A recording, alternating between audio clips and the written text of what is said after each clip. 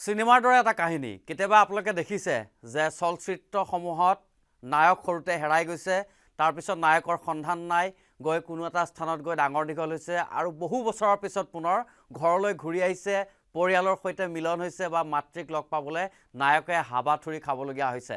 তাৰ কাৰণে বহু সংঘাতৰো সন্মুখীন হৈছে। এনেকুৱা এটা ঘটনা সংঘটিত হৈছে আমাৰ অসমতে।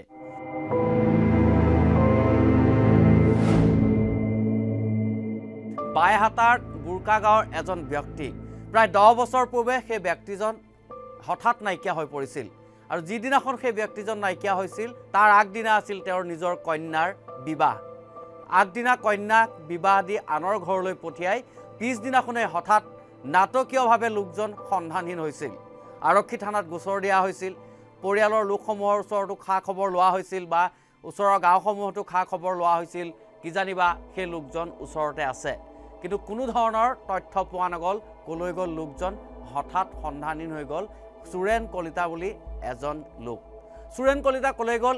ইয়াক লৈ পৰিয়ালেই নহয় গাঁওখনৰ লোকসকলেও বহু বিচাৰ খোচাৰ কৰিছিল। কিন্তু চুৰেণ কলিতাৰ কোনো সন্ধানেই লাভ কৰিব নোৱাৰিলে কোনো এজন ব্যক্তিয়ে। তাৰ পিছত ধৰি লোৱা হৈছিল যে চুৰেণ কলিতা হয়তো ক'ৰবাত গৈ নিখোজ হ'ল বা তেনেধৰণে পৰিয়ালৰ লোকে মানি ল'বলৈ বাধ্য হৈছিল। হয়তো কেতিয়াবা ঘূৰি আহিব চুৰেণ কলিতা ঘৰলৈ মনত পৰিলে। সম্পূৰ্ণ দহ বছৰৰ পিছত তেওঁলোকে ভবাৰ দৰেই হ'ল চুৰেণ কলিতাৰ সন্ধান লাভ কৰা হ'ল। চুৰেণ কলিতা এতিয়াও জীৱিত আৰু তেওঁ এতিয়াও জীয়াই আছে। আগৰ দৰে নাই কিন্তু তেওঁৰ যথেষ্ট বয়স হৈছে পূৰ্বৰ চেহেৰা সলনি হৈছে কিন্তু চুৰেণ কলিতা জীৱিত অৱস্থাত আছে অসমত নহয়।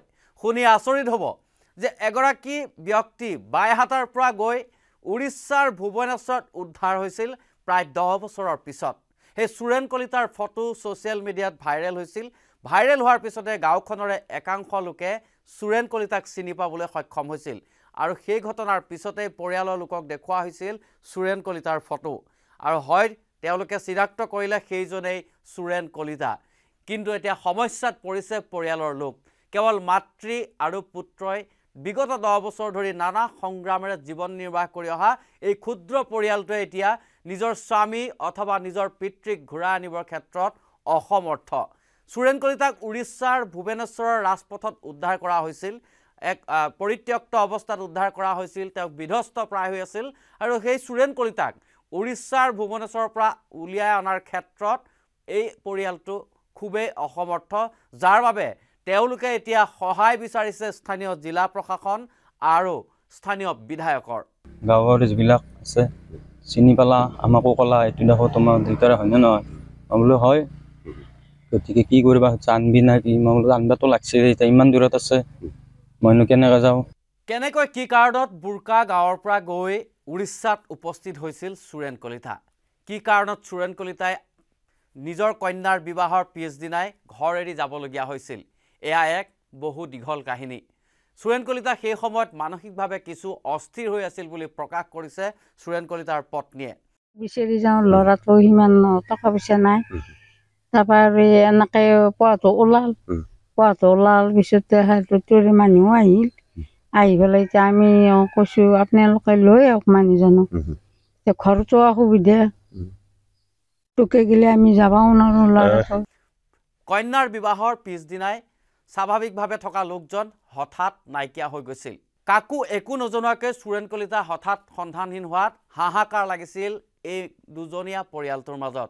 সেই সময়ত পুত্ৰ যথেষ্ট সৰু আছিল কেৱল চুৰেণ কলিতাৰ পত্নীয়ে কিবাকৈ পুত্ৰ সন্তানক ডাঙৰ কৰিছিল বিগত দহ বছৰ ধৰি নানা সংগ্ৰাম কৰিবলগীয়া হৈছিল।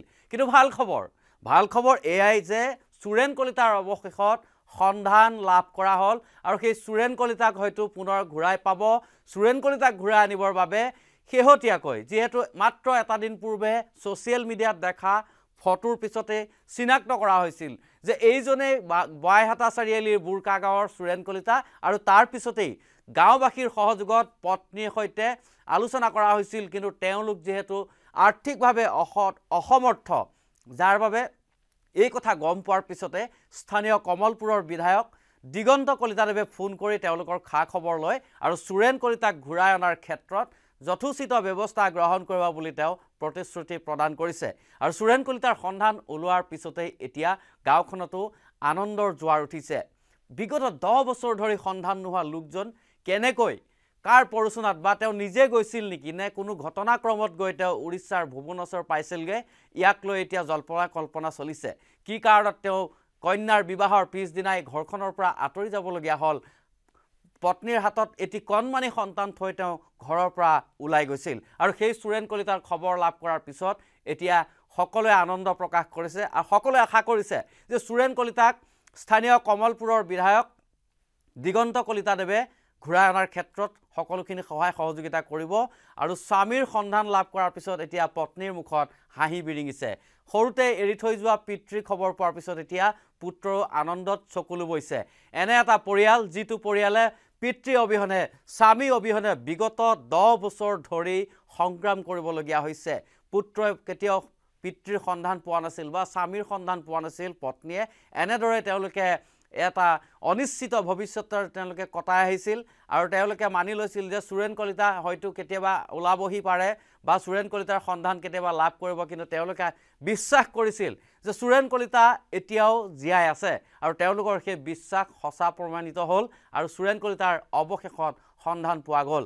আৰু সকলোৱে বিচাৰিছে যে দিগন্ত কলিতা কমলপুৰৰ বিধায়ক তেওঁ যিহেতু নিজেই ফোন কৰি পৰিয়ালৰ লোকৰ খা খবৰ লৈছে বা তেওঁ প্ৰতিশ্ৰুতি প্ৰদান কৰিছে বুৰ্কা গাঁৱৰ চুৰেণ কলিতাক ঘূৰাই অনাৰ ক্ষেত্ৰত কমলপুৰৰ বিধায়ক দিগন্ত কলিতাই যথা এই ক্ষেত্ৰত ব্যৱস্থা গ্ৰহণ কৰিব বুলি সকলোৱে আশা প্ৰকাশ কৰিছে।